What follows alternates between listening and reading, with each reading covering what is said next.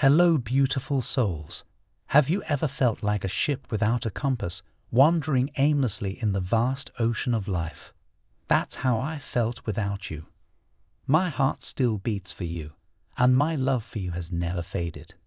I know we've been through tough times, but I want to fix things between us, to make things right, to reignite the flame that once burned so brightly. As I look back on our time together, I realize how much you have taught me. You taught me the true meaning of love, sacrifice, and commitment.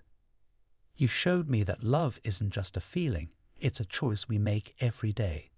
You taught me to be a better person, to see the beauty in the world, and to appreciate the little things in life.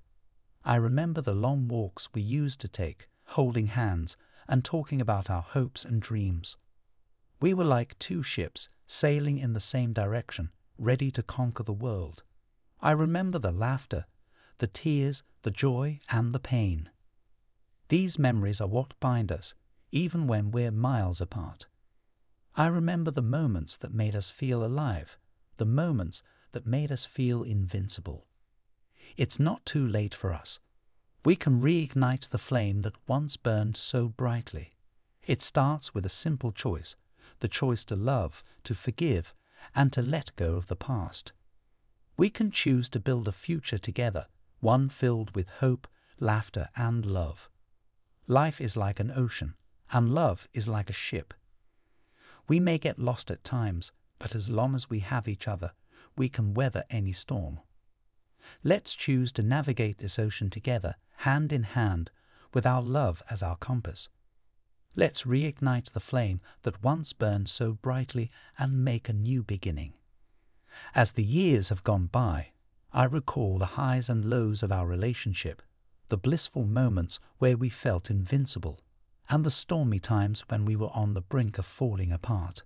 However, what stands out to me the most are the painful arguments, the miscommunications, and the heartache that we went through. The moments where our egos got the best of us, and we forgot the profound love that brought us together in the first place on the times where we took each other for granted and we failed to cherish the precious gift that we possessed. Undoubtedly, I am not infallible, and I have committed my fair share of mistakes.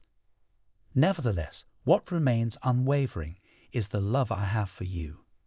It is an enduring love that transcends the constraints of time and distance, a love that has the power to conquer every hurdle in its path. As I look back on our journey, I realize that every obstacle we faced brought us closer together, like two pieces of a puzzle. We were meant to be together, and our love was meant to flourish. Just as the moon waxes and wanes, so does love. It may not always be at its brightest, but it is always present, waiting to be rekindled. It takes a willingness to let go of the past and an eagerness to embrace the future, to rekindle the flame of love that once burned so brightly. From Divine Masculine. Type yes if you believe.